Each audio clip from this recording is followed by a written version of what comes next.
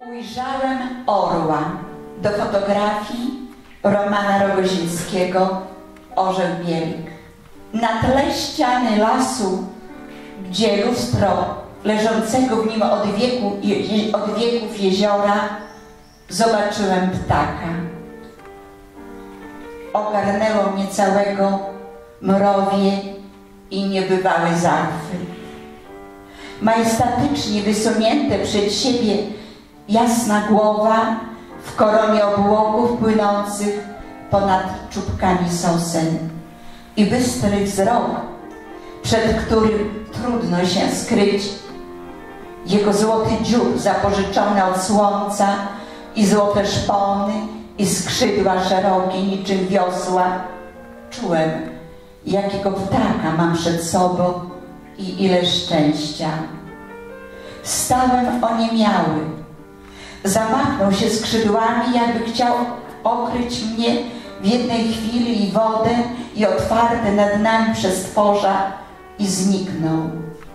Kiedy mi się otrząsnął z tegoż widzenia, pomiędzy jedną a drugą sosną, przez moment niczym grot tkwił jego biały ogon i dolatywał z oddali radosny pisk orląt. Jeziora i las i serce moje płonęły w jaskrawym czerwonym słońcu.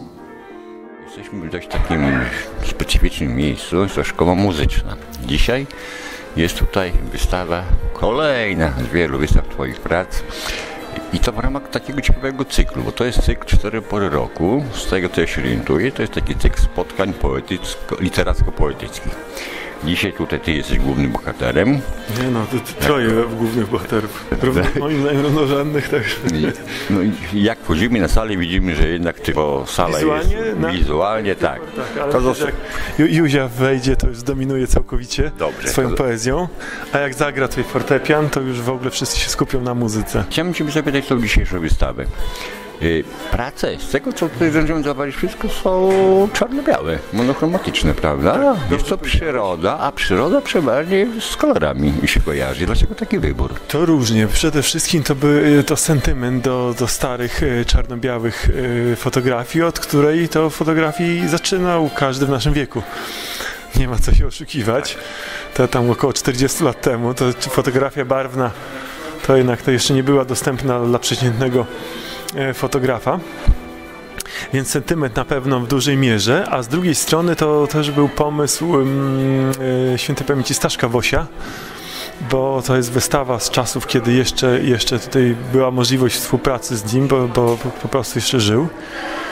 E, No, żeśmy- ikona fotografii, przynajmniej u nas w naszym regionie na pewno, no, prawda? oczywiście, jedna, bym powiedział, z takich na pewno, nawet nie tylko regionu, ale i ikona, jedna z ikon polskiej fotografii, myślę, E, przynajmniej dla mnie z całą pewnością.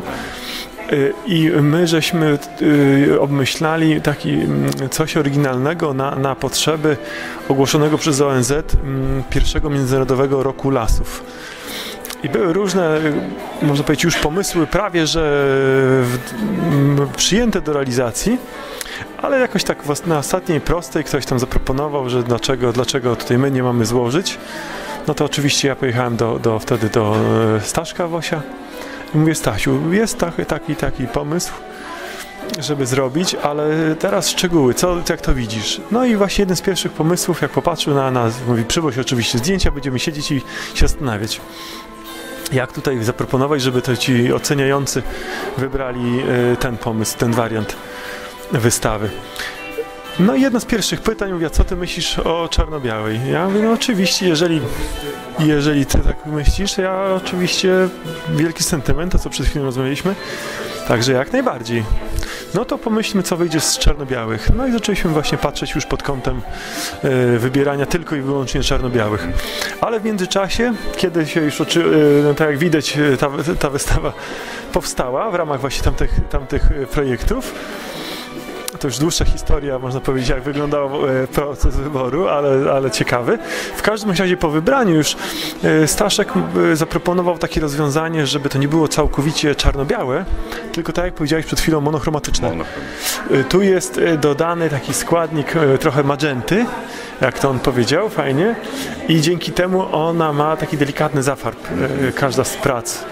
Równiutko, wszystkie mają podobną ilość tego, tego dodatku, e, przez co e, delikatny jest taki, można powiedzieć, nastrój e, troszkę nie, nie, nie tylko czarne, e, czerni i bieli, ale właśnie jeszcze, jeszcze z czegoś dodatkowego.